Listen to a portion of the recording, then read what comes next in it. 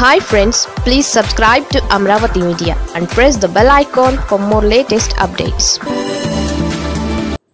కీలక జిల్లాలో టీడీపీ డేలా గాలి కుదిలిచిన అధిష్టానం. రెండు వేల ఇరవై నాలుగు అసెంబ్లీ ఎన్నికల్లో గెలిచి ఆంధ్రప్రదేశ్లో ఎలాగైనా తిరిగి అధికారంలోకి రావాలని ప్రతిపక్ష తెలుగుదేశం పార్టీ భావిస్తోంది. ఇటీవల మహానాడు సక్సెస్ అవడంతో పార్టీ నేతల్లో జోష్ వచ్చింది. అదే ఊపులో బాదుడే బాదుడు అనే ప్రోగ్రాంతో ప్రజల్లోకి వెళుతోంది. అంతా బాగానే ఉన్నా కొన్ని జిల్లాల్లో పార్టీ బలోపేతంపై దృష్టి పెట్టడం లేదన్న చర్చ జోరుగా నడుస్తోంది.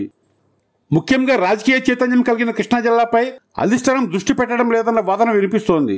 కొన్ని నియోజకవర్గాల్లో ఇన్ఛార్జీలు లేకపోవడం మరికొన్ని చోట్ల ఇన్ఛార్జీలు ఉన్న అంతర్గత కుమ్ములాటలు పార్టీకి తలనొప్పిగా మారాయట.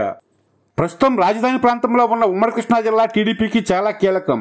గత ఎన్నికల్లో కృష్ణా జిల్లాలో టీడీపీ చావు దెబ్బతింది అధికారంలో లేని సమయంలో కూడా ఇక్కడ దాదాపు సగం సీట్లు సాధించే పార్టీ రెండు వేల పంతొమ్మిదిలో కేవలం రెండు నియోజకవర్గాల్లో మాత్రమే గెలిచింది.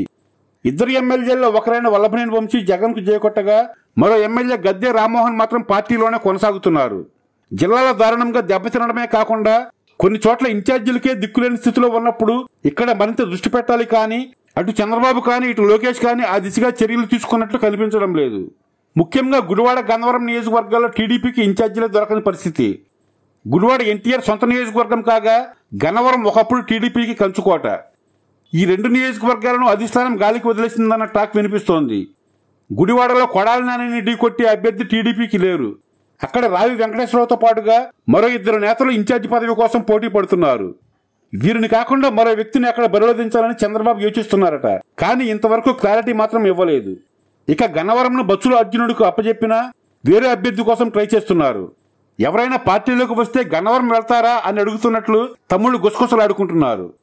అలాగే విజయవాడ వెస్ట్ తిరువూరు పెనమలూరులో ఆధిపత్య పోరు కొనసాగుతోంది.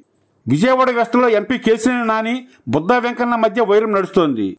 మరోవైపు తనకు ఇన్ఛార్జ్ బాధ్యత ఇవ్వలేదంటూ మాజీ ఎమ్మెల్యే జలీల్ ఖాన్ అలకబూనారు. ఈస్ట్లో కూడా sitting MLA Gadde Rammohan party వైఖరిపై అసంతృప్తితో ఉన్నట్లు ప్రచారం జరుగుతోంది.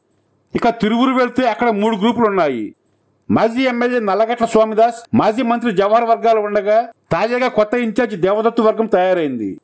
ఇప్పటికే టీడీపీ అక్కడ వరుసగా రెండు ఎన్నికల్లో ఓడిపోయింది. ఇలాంటి సమయంలో నేతల మధ్య సఖ్యత కొరవడంతో మూడోసారి కూడా ఓటమి తప్పదన్న టాక్ వినిపిస్తోంది.